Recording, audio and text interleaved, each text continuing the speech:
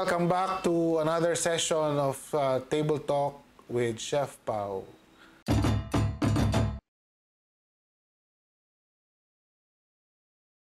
I am very glad, honored, and privileged to have a very special guest, a good friend, and our partner in training. We want to welcome Walter Kuhnert of AIDA Cruises. Thank you very much, Paolo. I'm also very happy to be here in your podcast. Uh, it's an honor and a privilege, and uh, I'm looking forward to uh, uh this uh, this hour, hour and a half, however long we're gonna talk. Yeah, yeah. Thank you so much, Walter. Uh, this is very important time and very important opportunity for us to talk about the cruise ship industry amidst the pandemic. However, before we start, you know, please tell us briefly about yourself. We want to know who you are. Yes, my name is Walter. Um, I work for AIDA Cruises since 2006.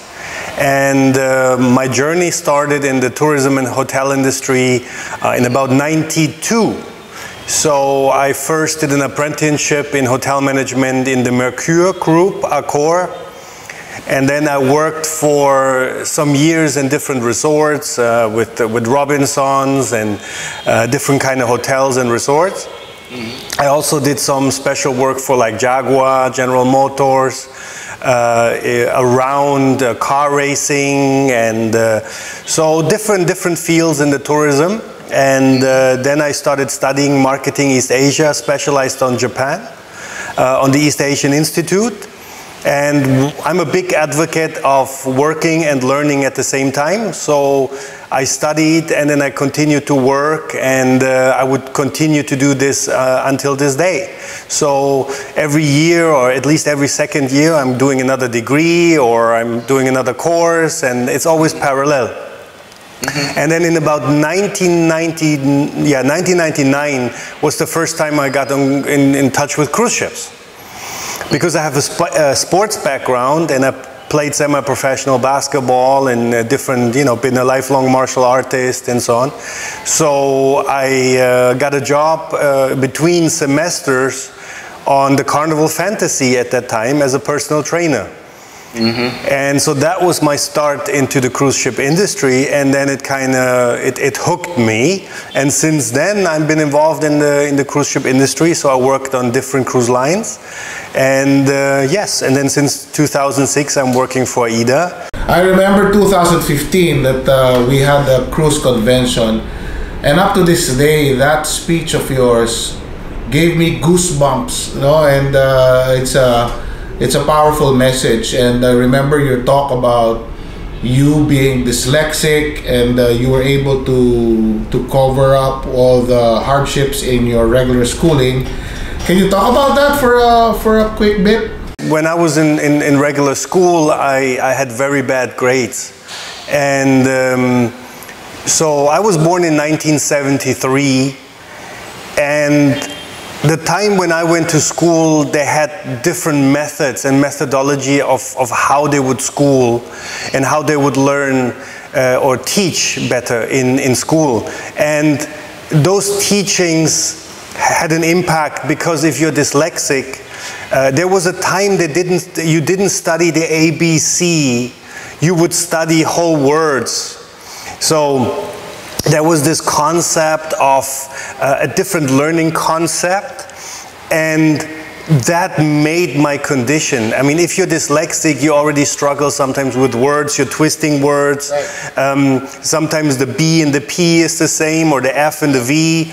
And so that, that gave me even more difficulties. And so my grade. Like when you do, of course, as a kid, you will feel like you're not, you're slow, you know, people look at you differently. You know, emotionally, it's hard, it's tough. Well, in, in, I'll give you an example. If you if you have one page, I would write a, a A4 one page. I would have 50 to 60 mistakes in it. Wow. And and then somebody would correct those mistakes. I look at them. Let's say I learned them. I would memorize the mistakes.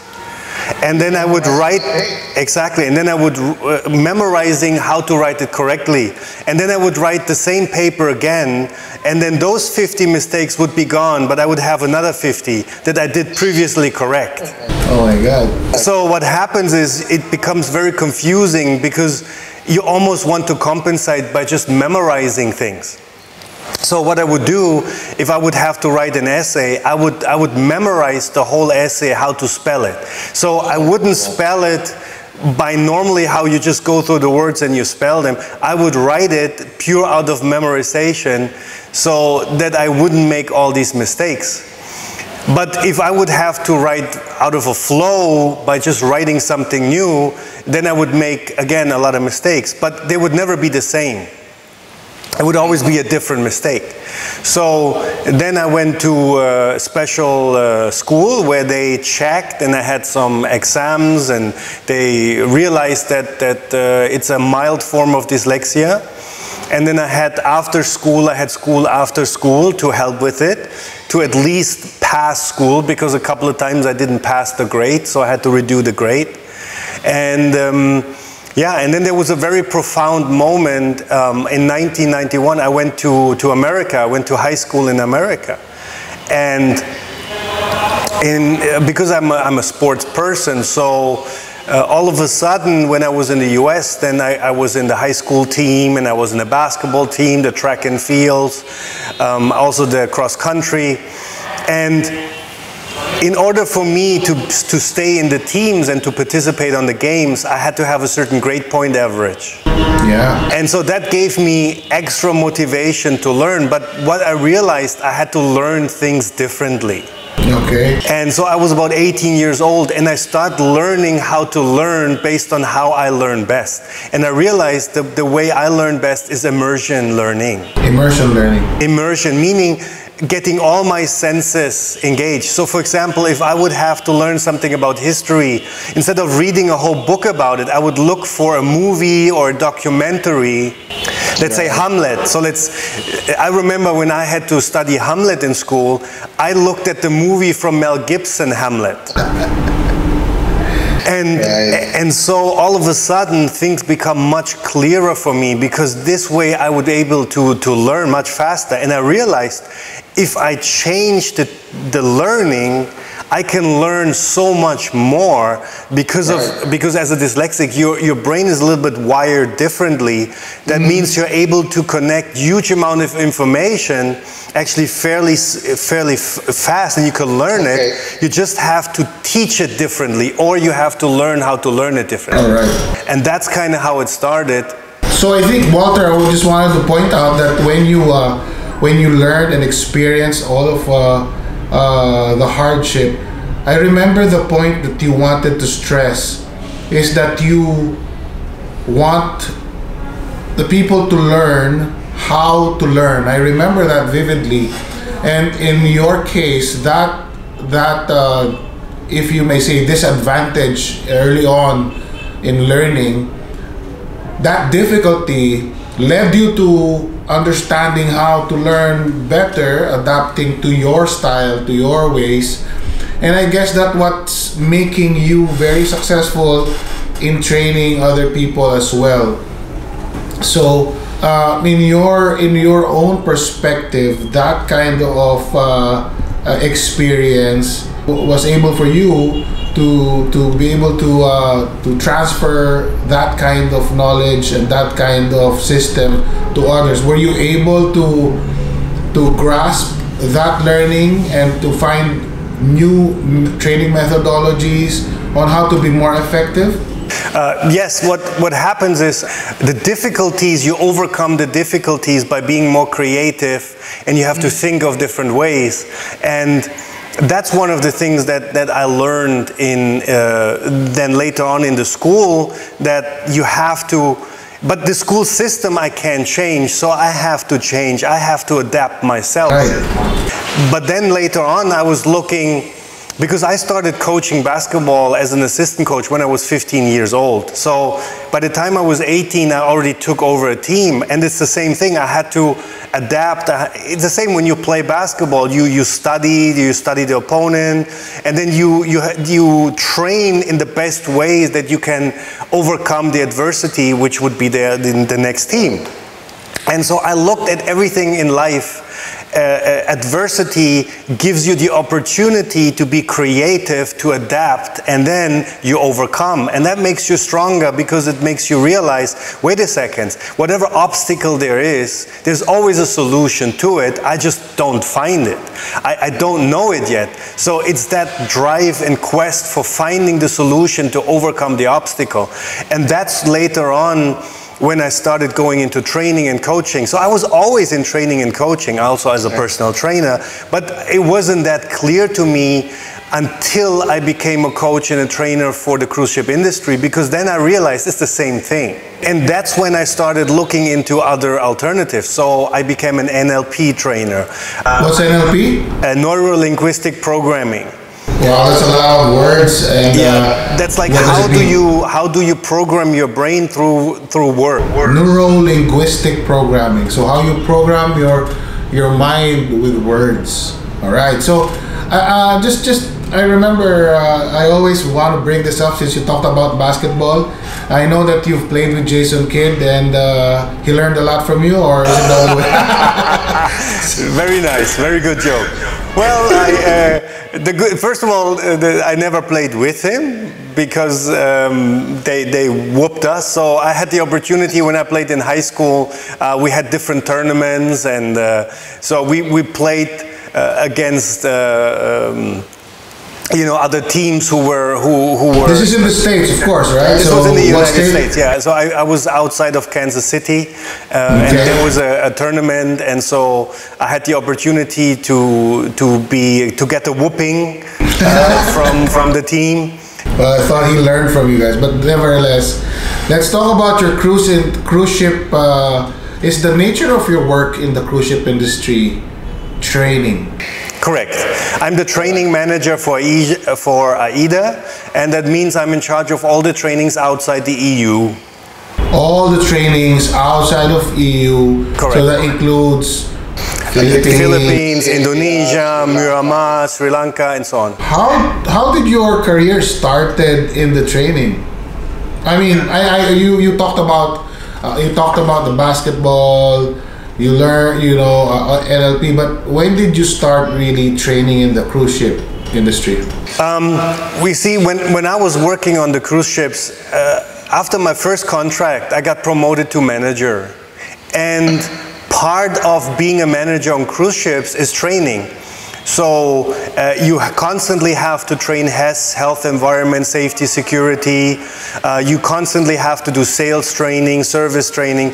So the moment you're a manager on cruise ships, a big part of being a manager on cruise ships is, is training. So my, my training background in coaching and training, of course, helped me tremendously because that wasn't something new. That, that came almost natural to me because I've been doing it since I'm 15 years old. Yeah. It was just a different field.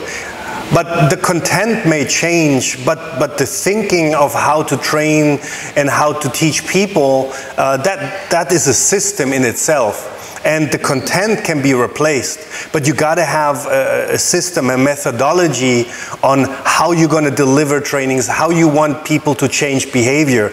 Let's, let's be honest, when we're talking about training, we're also talking about behavioral change. Because you want one person to do something different because you see maybe that's a negative outcome and you want to change that into a positive outcome. So we're talking about behavioral changes. So, how do you change behavior of people?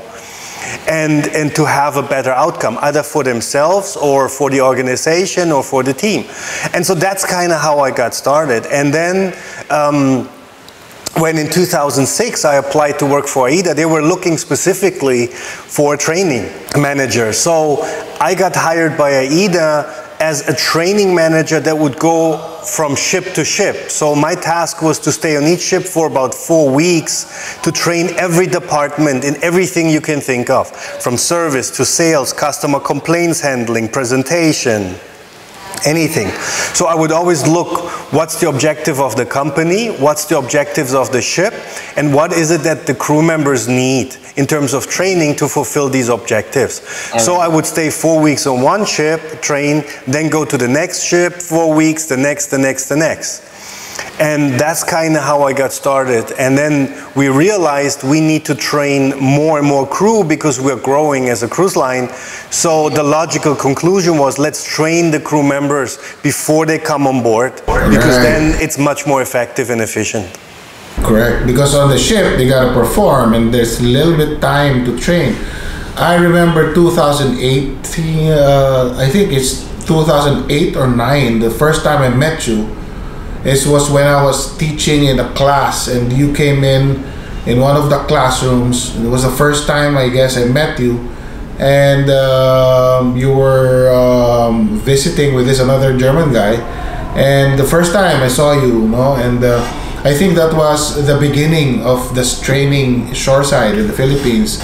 It's been a long time since that. Uh, it's a decade, know, and uh, a decade and two years, and for me, that training that uh, you made and what we do is is so important in not just preparing the person to go on board to work, but also to make that person succeed and perform uh, in the organization, in the cruise ship, and be uh, valuable in the operations. So, in that decade or more, how can you say that it has changed? I mean, the importance is there, but from you, as the one who delivers the training and see how it is uh, being measured as a success factor on board, how do you connect training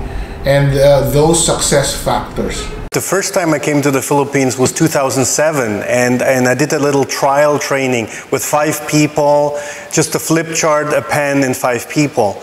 Uh, just to kind of get a feeling of, you know, what is it here, how is the setup, what's the environment like. And then I came the second time again, I think six months later, to do, to do another trial training. And then we decided, and I think it was September 2008 when I moved completely over here and I said, let's make this the base here. Mm-hmm. And then from here, distribute the training all over Asia, all over our training schools. And what happened is, of course, when, whenever I started a new country, I first had to kind of get an idea what is it that the crew members are bringing in it's like, wh where are they? Um, I would say that's teaching the gap. So it's to first identify what is the yeah. gap that's missing for the crew members to be successful on the ship. And that gap is different for every person, for every country, uh, for every culture. And, and to identify that, that gap. At the beginning, I didn't know much about those gaps because you can't read that in a book. Because, oh, yeah. because times are evolving and people are not the same two years later. Cultures are not the same, especially in That's Asia, true. because the, the economies, the, the culture, everything moves so fast in Asia. Absolutely. And therefore, it's so critical to really stay on the ground, to, to talk to people, to identify what's that gap. So if you look at our training when we started in 2008 until today, the training is not the same anymore. It has, it has evolved tremendously through, through the years because we constantly had to adapt and identify what's the new gap, what's the new challenges. Because of course we have an outcome in mind, like what would be the way the crew should perform on the cruise ship. But even those expectations from the ships change. New situations, like now we're in a pandemic, so that creates new situations. So also over the year when we grow, and we're scaling up the training, we also have to attest for the scaling because it's different if you train 20 people a year or we're training 3,000 people a year. How do you make sure the trainers are all on board? They all have the same mentality. They, they know how to teach what we want to teach. So the whole system is, is a constantly evolving um, system and that we constantly have to update. And I think there is not one way how to teach it. It's more like how do you adapt the system over the years with all the variables and then identify the variable and see which ones you can control and which ones you cannot control. And I think that's, that's the biggest uh, challenge for training is that ability to evolve and, and to identify. Walter, we, we said that, uh, you know, you, the importance of training and how it has evolved.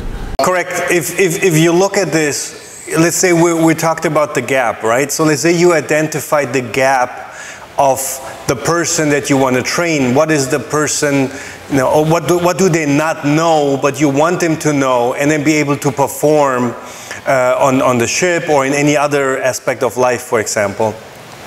So let's say you identify that gap. Then you have to figure out where is that person coming from, uh, what is the base knowledge, and how do you how do you teach now? Because that's the methodology. And the tricky part is if a person comes into the training, ideally there should be a different person when they come out.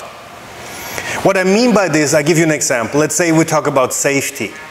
And safety, I think the key is in safety is not to teach procedures, but to make sure you, you install a safety mentality into the person. So that they're doing something not because it's a procedure or somebody told them to, but because they realize it's the best thing to do to get a certain outcome. Right? So if you want to be safe with a motorcycle, you would wear a helmet. Now the question is, should you wear the helmet because the police officer will fine you if you don't wear it, or should you wear it because it helps you to protect your own head?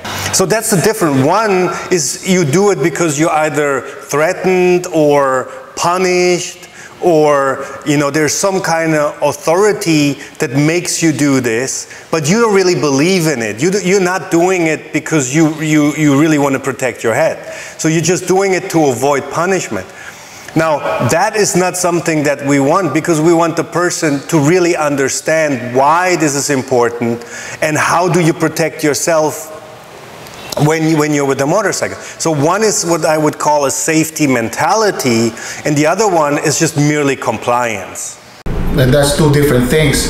I understand that, and I believe that wholeheartedly. It's been the ethos of what we do here in MIHCA, also what we train, is understanding the why more than just following compliance. And that's again one of the questions that always I always ask of you is because Eh, you know when when everything starts to become difficult and when everybody's trying to to to find ways to cut cost and then they will always look at training as the first one to go this is a very simple question but like i said you you have a very a simple direct answer to that. Like when you when you talked about health and safety another a person will come up on board a different state of mentality.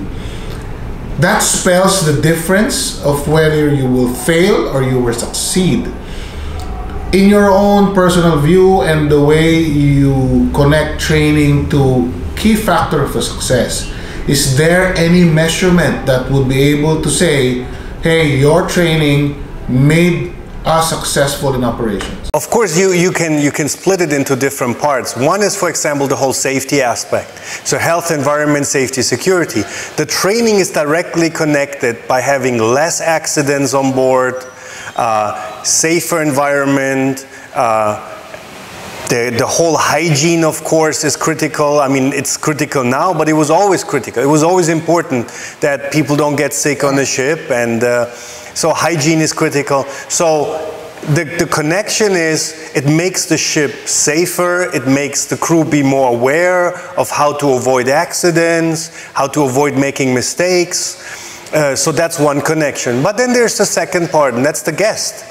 Because we're, we're in the cruise industry, we're in the tourism industry, so there's all these kind of KPIs on how happy are the guests and so on. Mm -hmm. And of course, there's a direct connection with the training of the crew and the, the happiness and the service standards on the ship.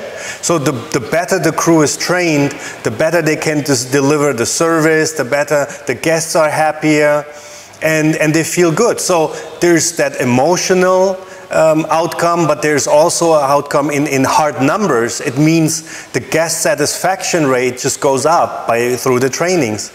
So it's on every aspect of the operation, either safety, environment, hygiene, uh, or if it's guest service, but it also is important for the happiness of the crew themselves. Yeah, that's true. Because then they feel confident to, to go to the ship, to face the guest. Why? Because they're trained, they're confident, they feel good about themselves, and so it's easy for them to make other people feel good. Yeah, and they went through the motions. They went through the motions. I always talked about this with you. Like in any sport, why why why are the people doing drills? Why are they practicing? Why are they like even if in MM's, MMA or boxing, why do they have to spar? Why do they have to train? If you put someone there who has never been trained, never been you know, it, definitely for sure that performance will never be comparable to those that who have been trained and trained properly. I, I always give this example because I know, I, I mean, I do martial arts, uh, I do weights, bodybuilding, I've been doing sports all my life. Everything is training, okay? And the, the thing is, the only way to become bigger and stronger is by not to be afraid of failing because every single training you will fail. Right. Okay, there, there's always amount of weight I will not be able to lift, but I'm not afraid to, to try to lift it. So at the end, you either lift it or you don't. Because in my philosophy, there's no such thing as trying. You can't try something. Trying is failure. So either you lift something or you don't lift it. And the only way to find out if you can lift it is by lifting it. And then you will find out either you lift it or you don't. And if you don't lift it, you need to train harder so that you can lift it. And this is a very simple logic, but it applies to every aspect of life. You're never going to go into a UFC cage just by reading martial arts from a book, right? You, you would get your butt kicked so bad that uh, if you come out alive. Or get a, or get a black belt at the uh, highest level of dan. But not the black belt you know that's all you're gonna get. So that's that's why training is is critical in every aspect. If it's look at the i mean i'm look at military. Military is is 95% training. Exactly it's always be ready for the worst case scenario. And and that's that's the critical airlines it's all about training. Tourism service industry firefighters police officers. We have this debate now about police and so on. Training training training. This it's all about training. The better somebody is prepared the better they are the, the more confident they are and the better decisions they will do under pressure why? Because they've been in situation. My philosophy was always in, in sports, train harder than the game and the game will become easy. But if, if you're doing half measures in your training and then the person gets under pressure in the real situation, they're going to crumble. So prepare them even, even more than what maybe in the worst case scenario will come in the reality so that when the situation comes, people are prepared and, and the likelihood of them making better decisions is, is so much higher, so much higher. Yeah, in, in my in my world, we call it mise en place. I mean, we die in we die in, in preparing, in preparation. We smile in service time. We succeed in the day in the operation if we're prepared. And to me, that's what preparing is that's what training is. So now that you've talked about the, the training and its importance, I want to talk about you mentioned about the COVID, with this the whole the whole idea of why we're doing this. So we know that you know cruise lines are greatly affected by COVID. The whole tourism industry, airline is affected. But before we go there, how did it affect you personally? And if you can share a bit of your, uh, you know, per- the personal side and and then what happened to you? Well, uh, you know, when it, I, I was still in, in, in, January, I was in Taiwan, and then in February I was in Myanmar. We were still teaching in Myanmar. And, and then all of a sudden the word came out and, and the situation got worse. And then there was uh, the possibility of visas getting uh, revoked, uh, airlines are closing down. Uh, Crazy time, huh? So, so I had to make a decision at the time, do I stop the trainings and sending the trainers back home to the Philippines, uh, or, or we're going to continue? So I realized the situation became more and more chaotic, so I immediately uh, stop the training, send all the trainers home, so the trainers were able to come home in time and uh, be with their family and, and prepare. And then I came back here to the Philippines from Myanmar, and I realized uh, it's, it's, uh, they're going to cancel all the flights. So I was immediately getting a flight uh, back to Germany. And, and in March, I went to Germany. And, and then what happened is um, I, I was stuck. I was stuck in Germany because uh, all of a sudden all visas got, got revoked and flights and everything was done. And so then I was in Germany for, um, the, I think, five months almost, or almost six months. And until I finally were able to, to, to get a visa to, to come back here to the Philippines, because we knew we had to prepare. We knew we had to ramp up our training, our system, to, to, for a new start. We know this will not last forever, and so therefore we have right. to be prepared for what's coming.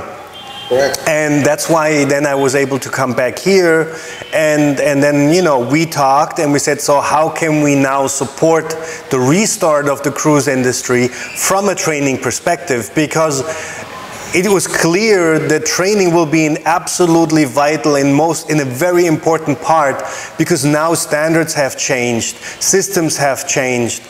Even service has changed. And, and of course, we need to make sure the crew members that are now on the ships or that they're going on the ship, they're familiar with the new standards, with, with all the hygiene rules and regulations to make sure that the guests and crew, everybody is, is 100% safe. Yeah. And the only way to do this is training. So it always goes back to the same thing because what you don't know, you don't know. So somebody got to teach you something so that you know what to do in which situation. And that's why, especially now that the standards are fluid, because we're, we're learning so many new things about uh, these diseases and, and the virus. And so our standards, our hygiene standards have to constantly be modified and adapt to the new scientific knowledge that's available. And that means the only way to keep everybody in the loop and make sure everybody knows that is through training and constant updating. So one of the main critical part now is how do we update our trainings? So we have to be much faster. And we're now in a, we have a system developed to be almost on time with our information. The moment the information is out, the moment we have a new standard, it's automatically updated in our system. And so all crew members can be instantaneously updated and informed with the, with the new information. And again, it's, it's about training, but more importantly, it's about knowing how to teach. What's the methodology? What's the system? Right.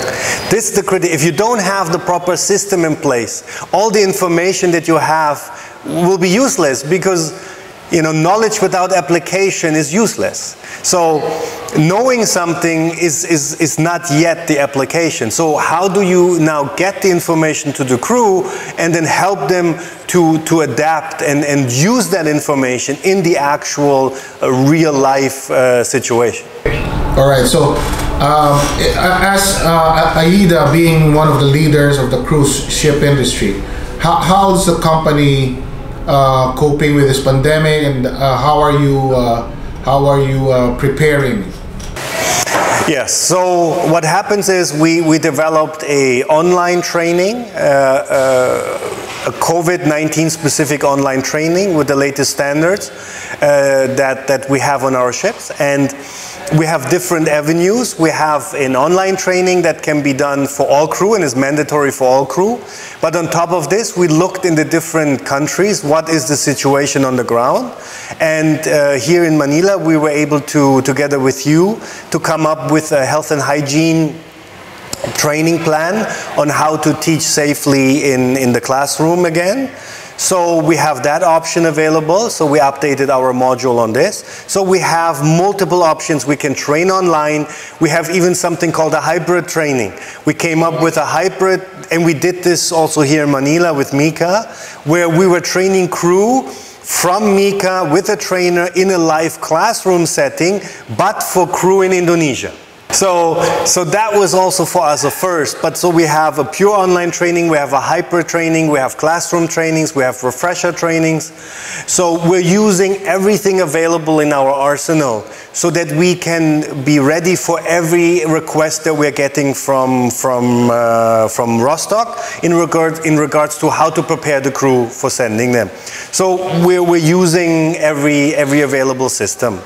Why? Because in October now we're going to start with the first cruising. So the first ship is going to sail October 17. We're going to have the first cruises again.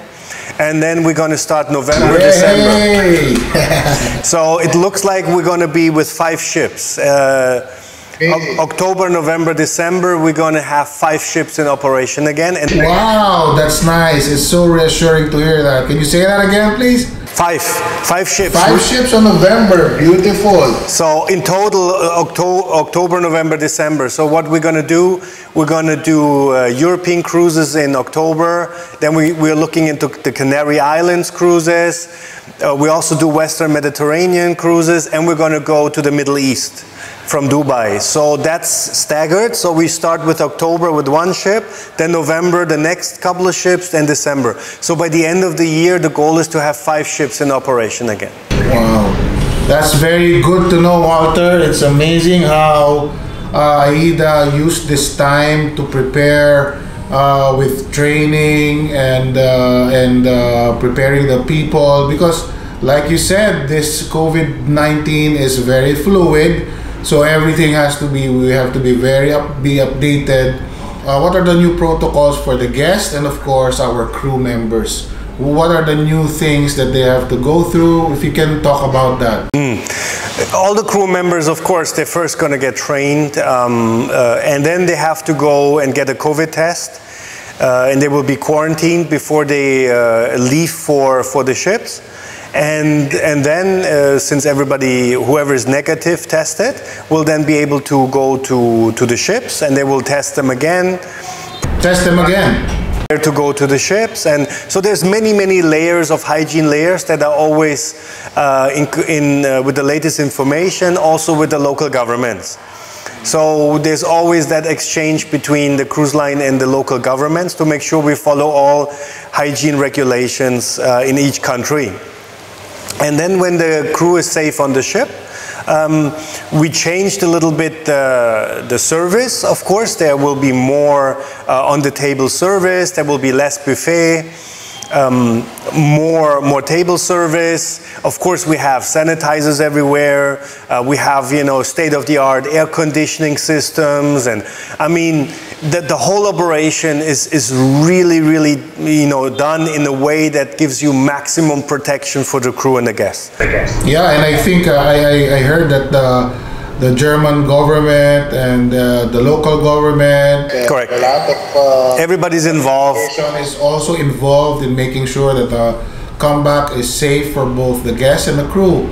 And you know, uh, no. For example, we even implemented in October now that in the in the price of the guest for the cruise, the COVID test is included. That the crew that the guests can can have a COVID test first before they come on board, so that everybody feels safe. It's like we're creating a, a bubble. We're creating a bubble on the ship. The NBA bubble. The NBA, the UFC bubble. You. Right, right. I, I, rem- uh, I remember in uh, the beginning of our talk, you were talking about the importance of not just, this is not about procedures, this is about the mentality.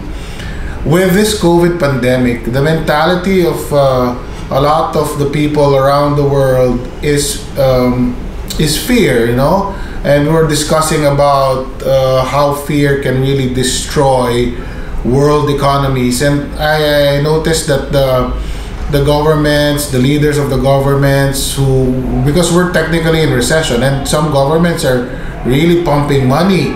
And uh, I guess, I believe that history would tell us that that's the way to go. And uh, being afraid and not doing anything is a recipe for your failure and for really burning down and dying as an industry. Let me give you an analogy on this.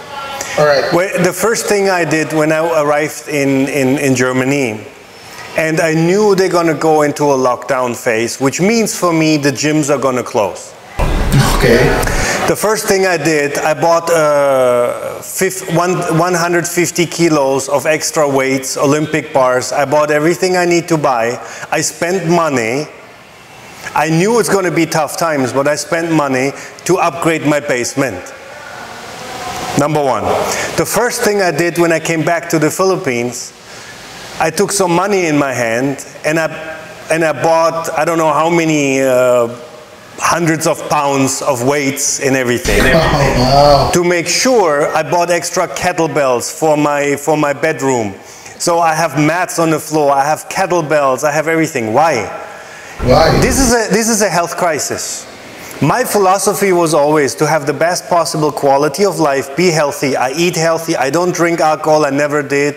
I don't smoke, I exercise regularly. For me, it's all about health and fitness and, and live the best possible life. So now we're having a health crisis. There's a threat of, of something that can affect your health. So my philosophy is I have to be in the best possible shape to fight this off. There's, there's no vaccine, there's nothing yet. So, what do I have? I have my body. I have my body. I need to make sure my body is in the best possible shape to fight that virus. Right. And so, that's why for me, during a pandemic, the solution cannot be not to do anything, just sit on the couch and be afraid.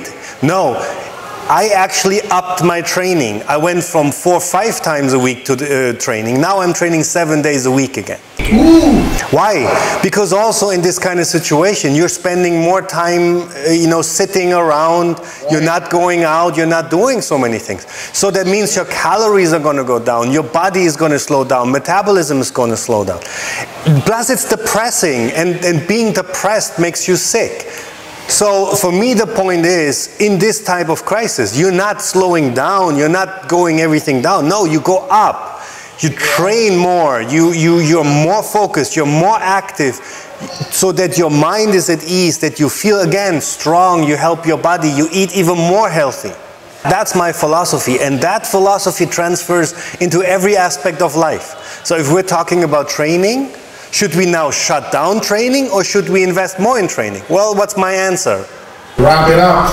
Of course. so, you know what, guys, you know, if you're hearing this conversation, you gotta go check out Walter Kuhnert's you- YouTube. No. I, I watch it. No, I mean, that's a lot of weights, you know, but uh, personally, when we talked about this uh, during the pandemic, I started uh, doing my, I, I don't do things like you do, but I started doing the walks and the calisthenics. They, uh, like what you said, it's, it's uh, doing something personal to yourself to improve, but it's also about what do you do during this crisis? This is this is really a test of character, and and and those who will survive are those that will do something about it. We're not saying to disregard No. this pandemic. We're not saying that. Absolutely. We're not saying that. We're respecting it. That's why we are doing something about it. Correct. We're doing this podcast. Our, our podcast was supposed to be face to face, but we don't want to to do that with our face mask. And I want to see you. So we're doing this online.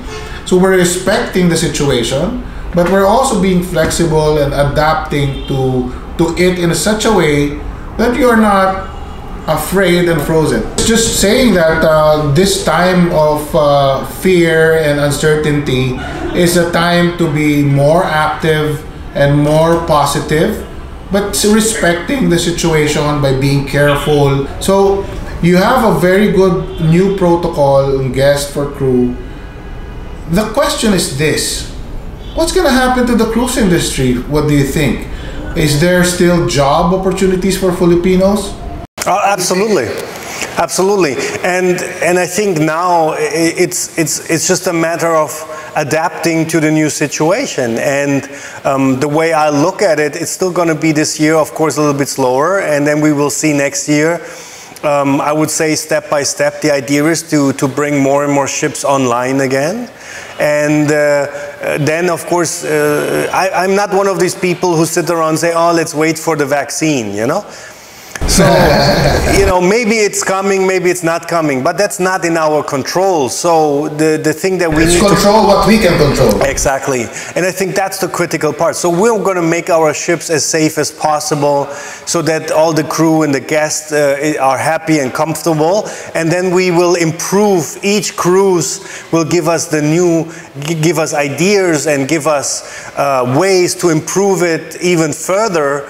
And then we see next year, then hopefully we can, uh, as countries are start to open up, uh, we will get more itineraries again and, and we, will, uh, we will go back. Um, that's going to be a process. We're also going to have a new ship coming out by the end of next year. So the idea for us is we, we know this is a difficult times, but we adapt, we overcome, and then step by step we're going to bring our ships online. And I think the outcome should be we should be stronger and better than we were ever before. Because we went through a crisis, we managed it, we understood it, we know how to do things better, and that can help us forward also uh, into the future. And even let's say in five years or 10 years, we will maybe still use procedures that we learned during this time that we realized are valuable procedures uh, that, that will be uh, good to keep and to, to keep implemented. So I see a crisis as an opportunity to get better, and, and I think that's the way you need to look at it. I, I just took September 22, three days ago. I just found out that uh, the, the Carnival Corporation and the other cruise lines submitted to US CDC uh, their return to cruise plans, you know, and this is a major, major thing. Uh, I think uh, what you're saying is uh, there is hope in, in this situation that the industry is going to revive. There is a revival. We, you know, and I'm also one with you in, you know, waiting is good, but what do you do when you wait? No, you you prepare yourself. I mean, human beings are social in nature. That's why we have time immemorial. We have tribes. Show, social gatherings is is a is a need, you know, for us to belong. And I think, you know, we as a human race will find ways, find ways to go back to that kind of situation. And one way of doing that, because it's a basic need to be with another human being and to enjoy the other company, we will find ways for sure. So, with that being said, and this is my final question to you what's your advice you know what can you give to our filipino seafarers who are trying to overcome anxiety. They've been you know it's been five months. They've been waiting. Some of them are being depressed and anxious with this pandemic. So what's your final message to to them? Prepare. Prepare. Get ready for the phone call when you're needed. And this is what we're seeing right now because at the moment, countries open up at different times and different speeds and rate.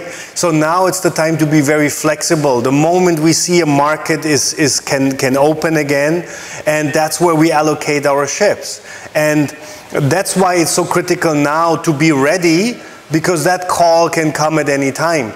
And uh, so I know some crew members have been waiting for a long time. Stay ready, stay fit, stay healthy, do everything you can because your livelihood depends on the ability to be fit and healthy and strong. And that's the critical part. So, so you spend the time in preparing yourself, and then when the call comes, you're ready to rumble. And you have, you, believe me, it's safe to go to our ships, it's safe to go to our crews. So no need to, to think in any way negative. Think positive, prepare yourself, and get ready for, for when the phone call comes. Wow, thank you, Walter. Stay negative, but think positive. I mean, I think uh, uh, just what I got from from our conversation is number one, the importance of training and how it affects the industry and life.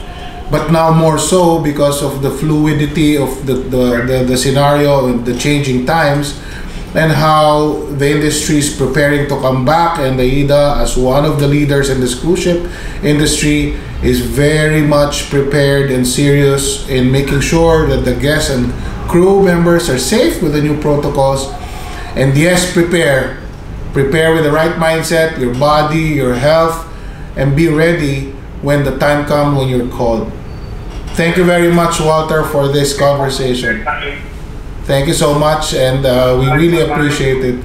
Uh, I hope that uh, uh, another session will be done again, and uh, maybe a, an update on, on what's happening.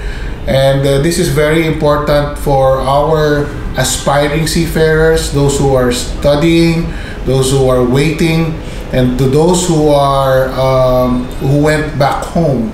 So it's very important to always be engaged, and this is not something that we just uh, disregard. We respect the situation, but we have to stay negative and think positive. Thank you much. Thanks. Bye bye. Bye bye.